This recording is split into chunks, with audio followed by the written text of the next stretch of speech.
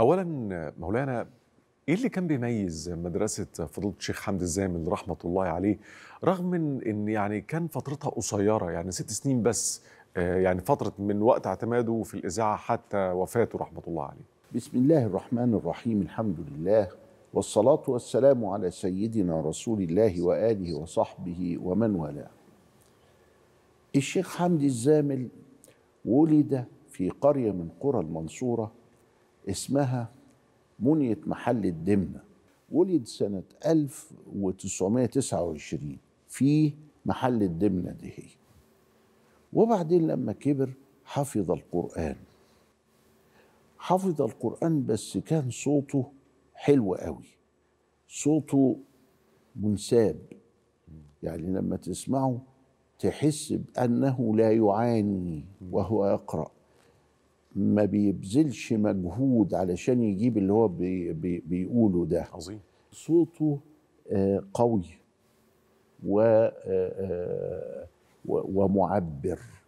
ولذلك سموه مصور المعاني القرآنية. جميل. اللفظ ده بيطلق ليه على القراء؟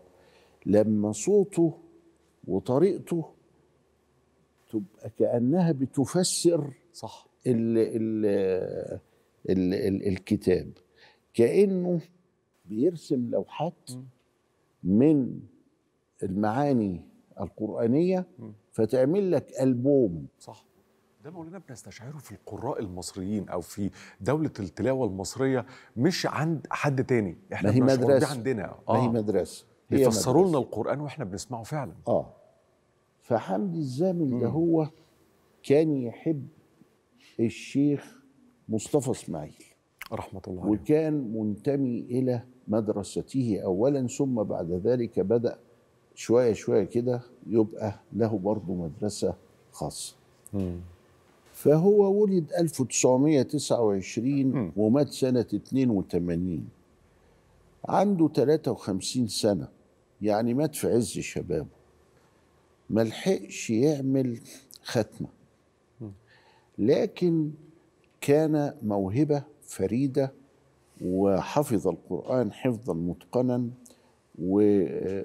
وابتدى يحضر في الليالي والمناسبات ويبقى صوته آه، صوت شجي. مرة الشيخ مصطفى كان رايح إسماعيل رايح في حتة علشان مسافر كده وبعدين سمع صوته من إحدى التجمعات. فأمر السائق أن يقف. ومش عارف مين ده. قال ال- الجدع ده هو. ده ليه مستقبل هايل. فهو كان يحب الشيخ مصطفى والشيخ مصطفى كان يحبه أيضا علشان إنه هو من مدرسته. يعني آه، ال ال ال النمط كان واحدا. حفظ ولما بدأ الشهرة في محل الدمنة تشتهر شوية وبعدين في المنصورة نصح الناس آه، آه، أباه بأنه هو عيلة الزمن دي عيلة كبيرة على فكرة. وفيهم آه، قراء كتار وعلماء أزهر كتار آه. نصح أحدهم أبوه إن هو ينزل بيه القاهرة عشان بقى يتعرف ويتشهر. يتعرف ويدخل المعهد آه. الديني و... ويدرس شوية بقى كده في الأزهر وكذا إلى آخره فنزل إلى القاهرة ويصادف إن المعهد اللي هو يروح فيه شيخ المعهد هو بقى في واحد خده قبل شيخ المعهد بقى واحد خده من عندهم مم. اسمه عوف بحبح واخد بالك؟ الشيخ عوف بحبح وعوف بحبح كان بتاع تجويد وقراءات وكذا وهو الشيخ الحقيقي اللي نتج من تحت إيده آه، حمد. آه، حمد. الزامل.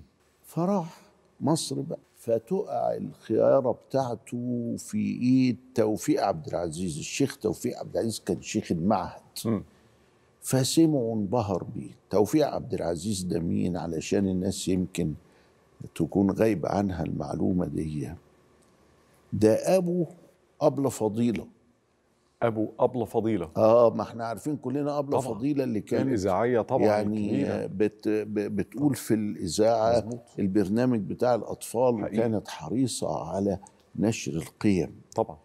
أبلة فضيلة هي اسمها فضيلة توفيق. امم أخت محسنة توفيق. مظبوط. توفيق ده مين؟ اللي هو توفيق عبد العزيز ده هو الشيخ توفيق عبد اللي العزيز. هو شيخ المعهد اللي أعجب بحمد الزامل إعجاب كبير وشجعه إن هو يستمر في ال- التلاوة والتفرغ للتلاوة لأن طبعا. التلاوة مش مسألة سهله دي عايزة مداومة على الحفظ عايزة مداومة على مراعاة أحكام التجويد وعايزة مداومة على القراءات وعايزة مداومة على الحفاظ على الصوت وعايزة بعد كده وقبل كده قضايا. ال ال ال ال النغم اللي بتدي مزية في كثير جدا من الأحيان بتدي مزية للقارئ بتاعها. نعم. طيب رغم الشهرة دي كلها ورغم آه، أيضا ما آه، ذكروا عنه فضيلة الشيخ عبد الباسط عبد الصمد بأنه لا أحد يقرأ في وجود الشيخ حمدي الزامل ولكن اتأخر ليه في الإذاعة؟ ليه ما تقدمش للإذاعة عشان يتلو القرآن فيها إلا يا دوب قبل ست سنين من وفاته؟ ما قدمش. ما قدمش. واللي قدم له في الإذاعة الشيخ مصطفى إسماعيل. الشيخ مصطفى. آه هو اللي قدم الورق وقال لهم ده ده ده تلميذي و آه، يعني آه.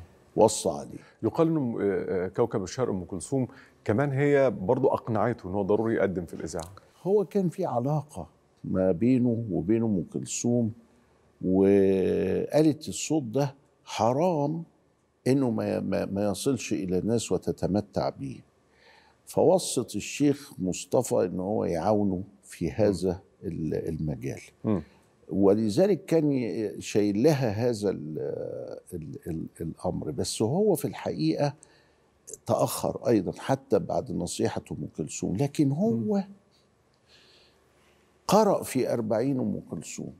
مظبوط. لما حصل بقى في طمايل زهاير. اللي هي القرية اللي منها أم كلثوم لما ماتت كانوا البلد فرحانة بأم كلثوم إنها أيقونة خرجت من عندنا هنا فيبقى بيعتزوا بيها قوي. فالعمدة كان اسمه حسن السيد بتاع طماي. مم. فعامل لها ميتم وعامل لها أربعين.